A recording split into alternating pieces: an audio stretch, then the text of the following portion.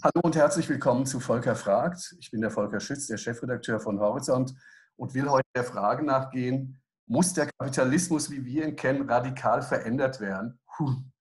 Das ist eine große Frage, aber ich stelle sie auch jemand, der in seiner Zeit als Werber immer groß gedacht hat.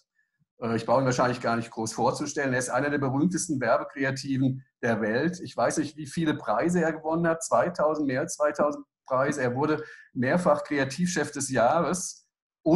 Er ist ein Mann, der, wie gesagt, groß denkt und groß spricht und wenn es sein muss, dann auch mal laut spricht. Amir, herzlich willkommen. Hallo Volker. Wie geht's dir? Blendend. Blendend. Quarantäne einigermaßen, Quarantäne einigermaßen überlebt.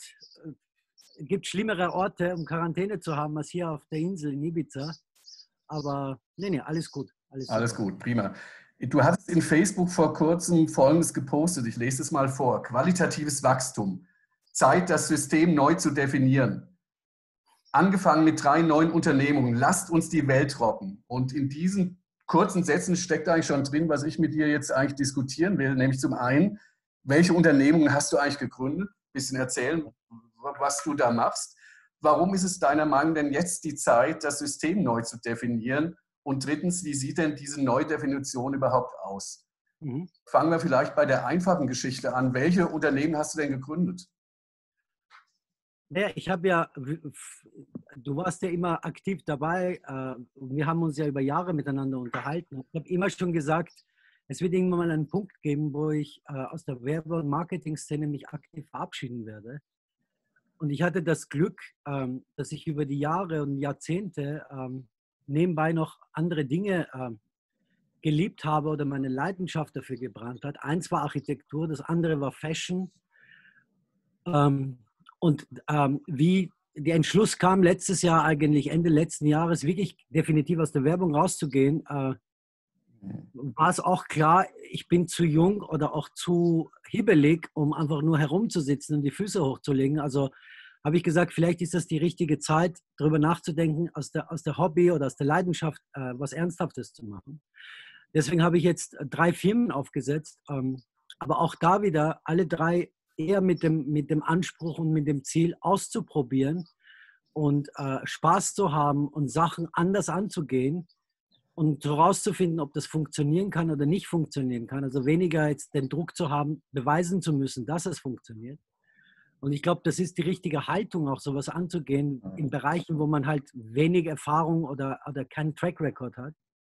Das eine ist eine Architektur- und Designfirma, wo es um Immobilienentwicklung, Restaurierung, Renovierung, Design geht auf der einen Seite. Auf der anderen Seite geht es darum, eine Plattform zu schaffen für junge Designer weltweit, ähm, aus dem Bereich Industriedesign, Furniture Design, äh, Interior mhm. Design, die zwar unglaubliche Qualität liefern, aber halt die, die Vertrieb- und Marketingplattform gar nicht haben, um sich selber mhm. sozusagen in die Szene zu setzen, einen Markt zu schaffen und denen zu helfen dabei, die ins Scheinwerferlicht zu stellen. Das ist die eine Firma, die ich, die ich jetzt angefangen habe mhm. aufzubauen. Ähm, das zweite ist eine, eine High-End Street Fashion Marke, äh, die sehr, sehr polarisieren und provozieren wird, wie du mich kennst kannst du dir ungefähr vorstellen. Da werden alle schreien. Da kann ich auch nicht mehr verraten, aber ich werde dir sicher exklusiv als einer der ersten weltweit sagen, warum es geht. Aber da werden sehr, sehr viele Leute in Deutschland schreien, wenn das kommt. Ähm, aber auch da geht es nicht nur um ein, um ein, Konzept im Sinne von eine, Fashion-Marke, die ein Message hat, sondern auch, kann man Fashion ganz anders angehen? Kann man Fashion mhm. substanzieller angehen, qualitativer angehen in einer Werkwerkgesellschaft, wo es immer um äh, billiger und äh, schlechter geht, kann man da eigentlich etwas hinstellen, wo die Leute auch ähm, erkennen, erfüllen und nachempfinden, dass, dass man auch Fashion machen kann, ohne die Welt zu zerstören, dass man Fashion machen kann, ohne die Ressourcen, äh, sage ich einmal, in die Enge zu treiben und auch damit ein Message zu setzen. Das ist das Zweite, was ich äh, vorhabe. Und das Dritte ist ähm, eine Beobachtung, das wird dir wahrscheinlich auch aufgefallen sein. Meine, Corona war der Brandbeschleuniger dafür. Wenn man sich die, die Medienplattformen ansieht, mhm. äh, gerade die Streamingdienste, die, werden, die haben durch Corona natürlich einen massiven Schub bekommen, aber ich glaube, dadurch, dass Corona auch das Digitalisierung sehr, sehr schnell nach vorne treiben wird, werden diese ganzen Content-Plattformen vehement an, an Einfluss und an Macht gewinnen. Mhm. Ob es Amazon Prime ist, ob es Netflix ist, ob es Apple TV ist, ob es Disney Plus ist. Was sie aber alle, was ihnen sehr, sehr vielen von denen fehlt, wenn man sich wirklich durch ihre ganzen Bibliotheken geht und das ganze Content mal einmal kritisch ansieht, ist qualitativ hochwertiger Content. Also vielleicht 10, 5 bis 10 Prozent der Content, den du auf Netflix findest, mhm. ist wirklich äh, konsumierbar oder hat in irgendeiner Art und Weise Substanz. Und da hinzugehen und mit der Kreativität und mit den richtigen Partnern darüber nachzudenken, kann man nicht andere Konzepte äh, definieren, kann man andere Art von Content produzieren. Und es geht mir jetzt nicht in erster Linie um Branded Content, also es geht nicht darum, das in Auftrag von Kunden zu machen, sondern eigentlich, sondern eigentlich ähm, es so zu machen, äh, als ein Think Tank, wo man hergeht und sagt, man hat Ideen und Konzepte und man pitcht die ganz normal an diesen Streamingdiensten oder Produktionsfirmen äh, mit der Hoffnung, dass, dass da auch Leute sitzen, die Qualität hochschätzen und wertschätzen, mit denen man dann gemeinsam diese, diese Konzepte auch ins, äh, in die Realität umsetzen kann. Das, das ist so jetzt in grob gesagt jetzt die drei Firmen, die ich jetzt gegründet mhm. habe und mit denen ich jetzt irgendwie losmarschiert bin. Genau. Drei Firmen auf einmal, ist es nicht viel, selbst für jemanden, der von Natur aus auf Koks ist, wie du dich mal äh, in der Welt beschrieben hast? Ja und nein, aber wie gesagt, wie ich es vorher gesagt habe, ich glaube, es geht um Ausprobieren. Ich glaube, es ist mhm. eine, sich eine Spielwiese zu bauen. Und wie gesagt, ich war immer schon sehr, sehr multidimensional unterwegs, auch in der Zeit, wo ich Werbung und Marketing gemacht habe weil wir natürlich in der Werbung und auch als Kreativer inspiriert waren von unterschiedlichen Bereichen der angewandten Kreativität. Und ich will das einfach testen. Ich will auch alles drei zeitgleich loslegen, um herauszufinden, was hat denn davon wirklich Substanz mhm. und was funktioniert und was ist nur ein, ein Geistes, eine geisteskranke Idee in meinem Kopf, der eigentlich überhaupt äh, keine Relevanz da draußen hat. Aber das Schöne ist, wie gesagt, wenn man den Druck eben nicht hat, zu sagen, man muss es jetzt irgendwie zum Erfolg führen, man muss mhm. was beweisen, läuft auch einiges leichter und man geht auch, glaube ich, entspannter damit um, auch in anderen Zeithorizonten, als wenn man jetzt wirklich sagen müsste, ich muss jetzt irgendwie beweisen, dass ich den größten Content Production Company der Welt aufsetzen muss, dann ist das, glaube ich, der Druck ein anderer. Vor dem Hintergrund ist es eine Spielwiese. Ich probiere da mal aus und dann schauen wir mal, was passiert. Ne? Eine Sache wollen wir uns vielleicht mal gerade kurz anschauen, äh, nämlich das Designprojekt. Äh, da gibt es ja schon eine Arbeit, die hat, ich weiß gar nicht, hat die einen Preis bekommen? Ja, die hat schon vier internationale Architekturpreise gewonnen, genau eine wunderschöne Loft, wirklich. Ich habe es mir äh, angeschaut am Wochenende und äh, rumgeblättert. Sieht wirklich toll aus. Aber darf ich eine ketzerische Frage stellen? Ja. Wir uns ja auch ein bisschen darüber unterhalten, okay, was muss eigentlich sich im System verändern? Äh, wie, wie ist das denn? Kann man Luxus eigentlich noch guten Gewissens anbieten in einer Zeit, wo Volkswirtschaften kollabieren und soziale Konflikte explodieren? Ich glaube, ja, ich, ich war mir klar, wie ich dich kenne, dass die Frage kommt. Mhm. Für mich ist es, für mich ist auch die Definition von Luxus eine andere. Ich glaube, es geht nicht mehr Luxus darum, wie viel Geld du hast und wie viel Geld du aus dem Fenster mhm. schmeißen kannst, sondern eigentlich geht es darum, was kannst du aus den, aus den gegebenen Ressourcen, wie viel kannst du da rausziehen? Was für Erfahrungen und Erlebnisse kannst du schaffen? Und weniger, wie viel Geld kannst du verbraten in, in ein Architekturprojekt, damit es geil aussieht. Und da sind zum Beispiel das Projekt, was wir hier in Barcelona über zweieinhalb Jahre gemacht haben, ist ein gutes Beispiel. Das ist eine alte Textilfabrik mitten in Barcelona, die 80 Jahre leer gestanden ist, wo keiner sich daran getraut hat, eigentlich da was draus zu machen. Und wir haben trotz unfassbarer Widrigkeiten, Baudenkmalamt mit Restauratoren angefangen, wirklich das Ding einigermaßen ähm, DNA-treu aufzusetzen und etwas zu bauen, mit verhältnismäßig wenig Geld, aber das, das den Geist dieses Gebäudes widerspricht, die Historie wiedergibt, die Stadt nicht kaputt macht, aber auch ein gutes Wohngefühl anbietet. Mhm. Und haben es eigentlich für uns gemacht und offensichtlich ist sogar die Fachleute aus der Architektur- und Designbereich sind so begeistert davon, dass sie uns jetzt sage ich mal internationale Auszeichnungen dafür geben. Du kennst meine Meinung über Preise, die sind mir jetzt nicht mhm. so in erster Linie wichtig. Aber ich glaube, die Neudefinition von Luxus im Sinne von mehr Erfahrungen, weniger Geld, ist etwas, was wir auch durch Corona alle bis zu einem gewissen Grad erlebt haben. Jeder hat sich die Frage gestellt, was brauche ich denn wirklich im Leben, um glücklich zu sein? Mhm. Brauchen wir wirklich wie diese Hamster, die wir waren, in dem Rad hinter allem herzulaufen, äh, weil das System das uns vorgegaukelt hat? Oder gibt es eigentlich essentielle Dinge im Leben, auf die man sich konzentrieren sollte? Und ich hoffe, dass diese Bewegung und diese Verhaltensänderung ähm, nicht nur bei vereinzelten Leuten bleibt, sondern idealerweise bei immer mehr und mehr, mehr Leuten äh, stattfindet. Und dann hast du natürlich auch eine Plattform und eine Basis und einen Markt, mit so einem Angebot reinzugehen.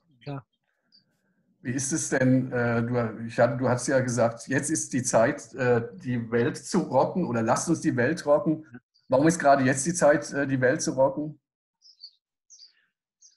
Ich meine, auch da, du kennst ja meine Meinung und, und, und meine provozierende und polarisierende Meinung der letzten 15, 20 Jahre. Ich glaube, das System oder das bestehende System war schon in den letzten zehn Jahren, spätestens seit der letzten Finanzkrise schon äh, äh, gebeutelt, lass es mal so sagen. Es gab immer mehr und immer mehr Leute, die die Frage gestellt haben, wie lange kann das denn gut gehen, dass wir in einer Welt und in einem System leben, wo es um immer um mehr, schneller und äh, billiger ging und wo es um Gewinnmaximierung ging. Und ich glaube, was Corona gemacht hat, der Schock, den Corona mitgebracht hat, war, ähm, dass wir eigentlich dieser Trend, der da war, wirklich sich grundsätzliche Fragen zu stellen, das beschleunigt. Und ich glaube, ich glaube, ich glaube, ich bin kein Linksradikaler. Ich glaube nicht, dass es, dass es eine bessere Alternative zum Kapitalismus gibt. Ich glaube aber schon, dass man Kapitalismus auf einem gesunden Niveau neu definieren konnte, wo es um Qualität, um, um das meist das Beste aus den Ressourcen rausholen geht und weniger, so wie wir das eigentlich die letzten 10, 15, 20, 30 Jahre gefrönt haben. Und vor dem Hintergrund glaube ich, dass der Zeitpunkt der richtige ist, sich Gedanken zu machen, nach vorne zu marschieren und schauen, ob es genug Mitstreiter gibt, die das ähnlich sehen. Ne? Glaubst du, dass es genug Mitstreiter gibt, wenn man sich jetzt gerade jetzt mal in der Welt umschaut, sieht es ja eher, äh, ich sage mal so, nicht so positiv oder optimistisch aus. Äh. Ja, aber das ist ja, genau, das ist ja das Interessante, ähm, wenn man sich die, die Historie der Menschen ansieht, wenn man vor 100 Jahren zurückschaut, hm. die Weltwirtschaftskrise, die Industrierevolution, das waren ja auch immer so all, äh, Zeitalter oder große Veränderungen, die passiert sind, auch in so Bruchlinien, wo die gesamte Gesellschaft eigentlich sich selber in Frage gestellt hat. Mhm. Weil wir als Menschen ja, wie du weißt, Gewohnheitstiere sind. Und wenn auf einmal so viel Veränderung, so viel Schock auf dich zukommt, reagierst du normalerweise sehr irrational, sehr emotionsgeladen und da werden Ventile frei. Was gerade in Amerika zum Beispiel abgeht, mhm. und zwar nicht, äh, ich rede die Reaktion, die gerade passiert. Mhm hat natürlich damit zu tun, dass das Thema Rassismus in Amerika immer noch nicht fundamental gelöst ist. Definitiv ja. Aber ich glaube, die Art und die, die Heftigkeit der Auseinandersetzung hat auch damit zu tun, dass die Leute bis zu einem gewissen Grad auch lost sind. Du musst dir vorstellen, in Amerika sind über 38 bis 40 Millionen Menschen auf einmal innerhalb von sechs Wochen arbeitslos. Eine gesamte Wirtschaft ist kollabiert. Man hat es mit einem Virus zu tun, wo keiner dir wirklich sagen kann, haben wir jetzt das Gröbste hinter uns? Kommt eigentlich die zweite, die mhm. dritte, die vierte Welle? Und gerade Schwarz, Schwarze und Afroamerikaner sind ja die, die wirklich benachteiligt sind in dieser Gesellschaft, die eben angeschlossen waren. Und du brauchst so einen, eine, einen Funke, damit halt diese Irrationalität dann auch wirklich in freien Lauf bekommt. Es ist begründet, äh, die Reaktion, wie gesagt, aufgrund der, der nicht gelösten Probleme beim Rassismus. Aber die Heftigkeit, glaube ich, hat auch mit mit dem zu tun in der Zeit, wo wir leben und was wir alle selber erlebt haben die letzten zweieinhalb Monate. Was keiner bis jetzt begreifen kann. Ne? Wird es auch das Ende so, ich sage jetzt mal, vom Turbokapitalismus äh, aus Silicon Valley sein? Oder kann man es so nicht sagen? Ich, ich, hoffe, ich hoffe es. Ich glaube auch die Technologieunternehmen, wenn du dir wirklich die großen vier oder fünf ansiehst und äh, wirklich äh, jetzt den Hype weglässt, und über Substanz nachdenkt, wird auch bei den Technologieunternehmen aus dem Silicon Valley hoffentlich immer mal die Frage kommen, welche von denen liefern etwas, was, das, was den Begriff oder das Adjektiv innovativ verdient hat im Sinne von Mehrwert und mein Leben besser machen? Und welche sind einfach Leute, die Technologie genutzt haben, auf diese Welle gesurft sind und etwas gebaut haben, wo wir im Nachhinein sagen, ja, war nett und schön, aber eigentlich in so einer Welt, in der wir leben wollen, brauchen wir es nicht. Und ich glaube, auch da wird hoffentlich dieser Reinigungsprozess stattfinden. Ich wünsche es mir. Ich wünsche es. Was, was würdest du denn dann sagen? Also du bist ja auf Facebook äh, aktiv äh, und ja. sozialen Netzwerken. Sind das für dich Beispiele von Unternehmen, die zwar eine Technologie vorangebracht haben, aber jetzt nicht unbedingt das Leben der Menschen verbessert haben? Oder würdest du sagen, nee, doch, die Facebook ist innovativ, Google ist innovativ. Äh, wer ist denn dann? Aber Google definitiv. Also Google ist, ist für mich einer der innovativsten Unternehmen der Welt, wenn es um die Suchmaschine geht. Mhm. Wenn man sich aber alles andere ansieht, was Google angefasst hat, ich glaube, die sind kein, kein Produktunternehmen. Ich glaube, die haben super Schwierigkeiten, darüber nachzudenken, im Vergleich jetzt zu Apple oder zu Amazon, die aus der mhm. Produktecke kommen. Was gibt es außerhalb dieses Suchalgorithmus in dieser digitalen Infrastruktur? Da, machen sie, da haben sie ihre Schwierigkeiten. Ähm, ich glaube, Amazon wird massiv an, an Bedeutung gewinnen, nicht nur, weil sie den Onlinehandel revolutioniert haben und durch Corona massiven Schub gekriegt haben, sondern weil sie klug genug sind, diese digitale Infrastruktur Schritt für Schritt auszubauen.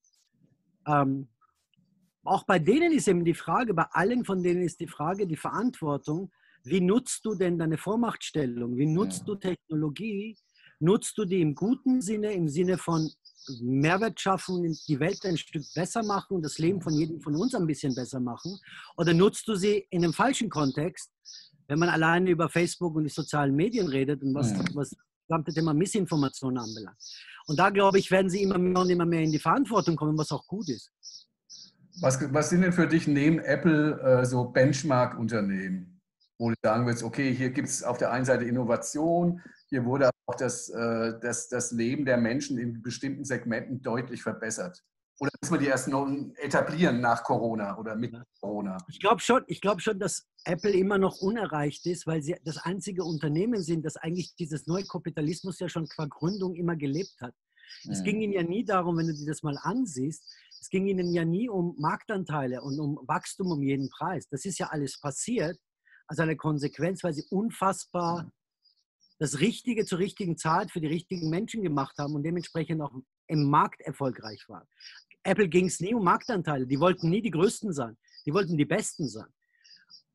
Auch die machen Fehler und auch die haben massive Fehler gemacht, sei es geschlossene Systeme, äh, sei, es, sei es nicht offen zu sein in der Zeit, wo Steve Jobs noch gelebt hat, für gesellschaftliche Strömungen, weil sie sich auch abgeschlossen haben.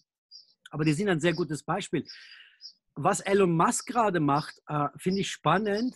Äh, obwohl ich bei Elektromobilität vorsichtig wäre. Ich glaube, Elektromobilität ist die Zukunft, mhm. definitiv. Aber ich glaube, bei Elektromobilität äh, überschätzen alle die Geschwindigkeit. Ich glaube, dass es viel, viel länger dauern wird, bis wir flächendeckend äh, Elektromobilität in einer Art von Massenmobilität äh, erleben werden. Also du und ich werden es wahrscheinlich sogar bis an unser Lebensende in der Form, wie sie das alle prophezeien, nicht erleben weil zurzeit die Infrastruktur nicht da ist, mhm. die Batterietechnologie nicht da ist und auch das Preis-Leistungs-Verhältnis zu einem normalen Verbrenner nicht stimmt.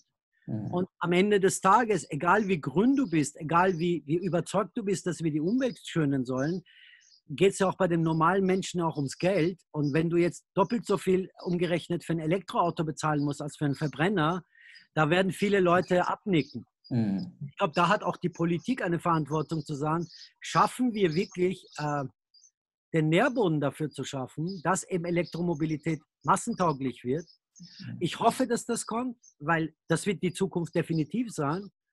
Aber es wird, wie gesagt, viel, viel länger dauern, als ich glaube. Aber was der Musk macht, finde ich spannend, weil er, weil er so komplett eine Vision hat von einer Welt, in der er leben möchte oder in der er glaubt, dass wir leben sollen. Und er versucht das wirklich in zwei, drei Segmenten konsequent umzusetzen, ohne Wenn und Aber, aber auch mhm. ohne diesen Druck zu haben, zu sagen, oh mein Gott, ich muss es am Ende mal liefern.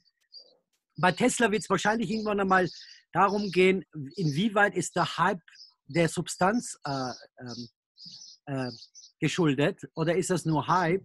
Weil wenn man sich jetzt die fundamentalen Zahlen von Tesla ansieht, sind die jetzt nicht so wirtschaftlich, dass ich sagen müsste, das ist ein erfolgreiches Unternehmen, Stand 2020.